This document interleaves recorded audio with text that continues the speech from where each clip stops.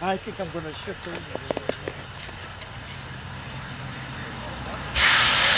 There you go.